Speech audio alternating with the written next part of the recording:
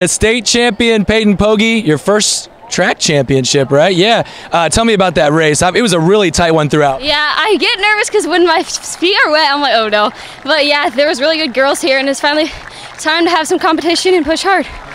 First track championship. Obviously, you've won the cross country title before. What's uh, what does this one mean to you? It feels good after state cross country this year.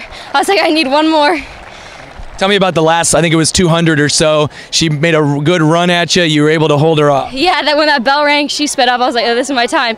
So that last 200, I gave it all I could. Overall, uh, what is this? I mean, I asked you what this means to you, but what is it? What does it really mean? I mean, this one I know you're aiming for for a long while. It means so much. It's crazy.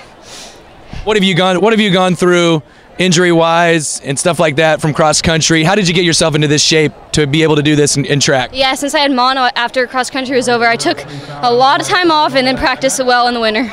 Congratulations. Thank you. Emily Baker from Bedford. It's a fourth place finish in the shot put. Emily, I think it was your first throw, the one that stood up there. Tell me about that and just getting a big throw out there uh, uh, right away. Um, so my coach has always told me to be a stick of dynamite and always yell from the tip of my toes to the tips of my hair. So my first throw, I just went out there and yelled really loud and threw it far. That's awesome. What do you, how does it feel to have a fourth place finish? I know you were. I, I don't know what you were thinking coming in. You talked a little bit. Uh, I guess explain what you were thinking coming in. Um, I came to throw my best, obviously, and I didn't really expect to get fourth, but I came out with the fourth place medal. So. Yeah. That's awesome. Congratulations to you. Uh, tell me about throwing in these conditions. What it was like. Uh, right now, you are you are soaked. Yeah. Um, it was rough, but everyone had to throw in the same conditions. We all had to adapt. All six of our throws were in this, so yeah, we just had to come out here and still throw our best. Well, congratulations to you. Great job. Thank you.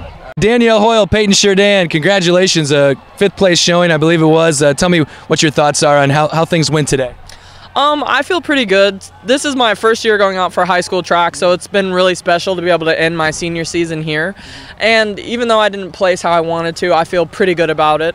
Yeah.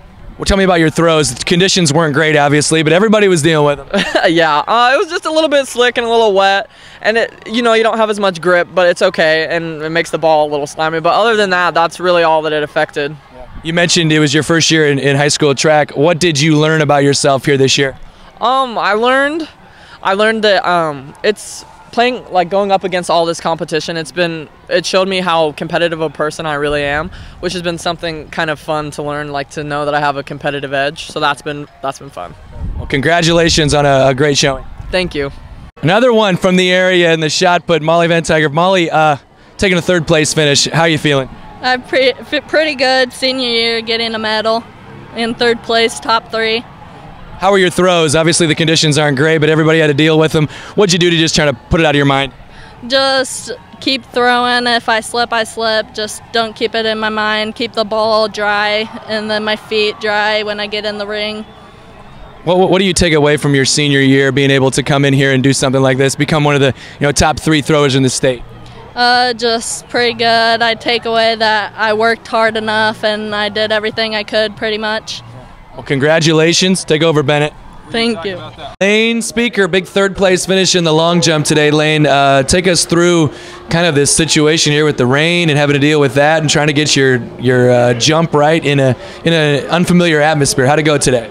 Um, well, earlier in the year, uh, we were at a meet in uh, Van Meter and it was raining, so it wasn't too bad dealing with the rain. And I didn't. I was pretty confident coming into it, and uh, before the rain started coming down, I got my steps down and everything, so I was pretty confident with that. And then I just kind of went with it. Take us through the jumps here a little bit. Uh, when, when, was your big one? Uh, I think my big one was, I think it was my fourth. It was either my fourth or fifth jump. But you know, uh, my, I trusted my run and uh, everything went good.